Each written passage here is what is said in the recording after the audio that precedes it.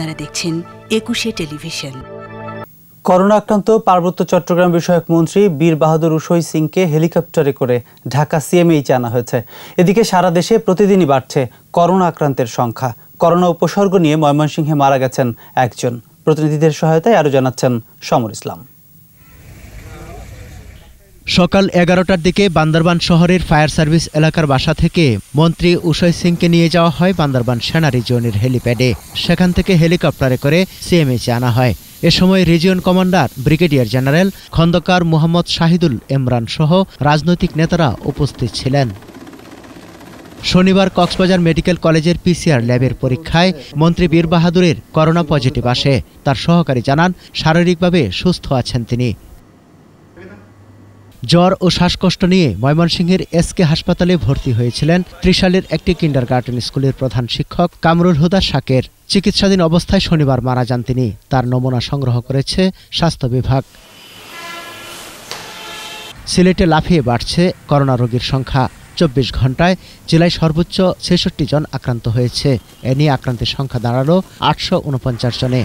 Sylhet Usmani medical college হাসপাতালের উপপরিচালক doctor হিমাংশুলাল রায় জানান একশো চুরাশি জনের নমুনা পরীক্ষায় ছেষট্টি জন পজিটিভ। কুষ্টিয়ার জেলা প্রশাসক আসলাম হোসেন করোনায় আক্রান্ত হয়েছেন। জেলায় নতুন আরও সাতজন সহ আক্রান্তের সংখ্যা দাঁড়াল একশো এগারো জনে। চব্বিশ ঘন্টায় রংপুরে পুলিশের এসআই সহ চারজন করোনা পজিটিভ। জেলায় আক্রান্তের সংখ্যা দাঁড়াল চারশো আষট্টি জনে। আক্রান্তদের আইসোলেশনে রাখা হয়েছে। লকডাউন করা হয়েছে তাদের বাড়ি।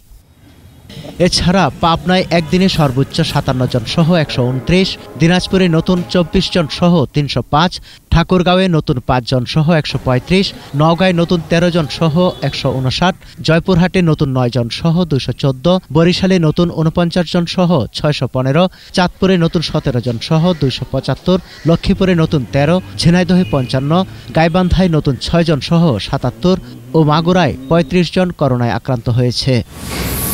সমর ইসলাম, একুশে টেলিভিশন। এদিকে করোনা ভাইরাসে আক্রান্ত আওয়ামী লীগের সভাপতিমণ্ডলীর সদস্য, সাবেক স্বাস্থ্যমন্ত্রী মোহাম্মদ নাসিমের অবস্থা স্থিতিশীল। সকালে তার চিকিৎসায় গঠিত মেডিকেল বোর্ডের সদস্য ডাক্তার কনক কান্তি বড়ুয়া আরও জানান, আইসিইউতে ভেন্টিলেশনে আছেন মোহাম্মদ নাসিম। বাহাত্তর ঘণ্টা পর্যবেক্ষণের সময় পার না হলে কিছু বলা যাবে না বলে জানান তিনি।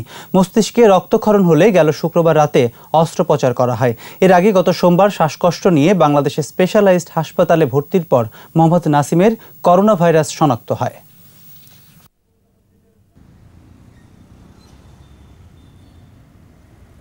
কালকে যেরকম আমরা দেখছিলাম, সেরকমই ওনার কোনো উন্নতি হয় নাই। একই অবস্থাতে আছেন।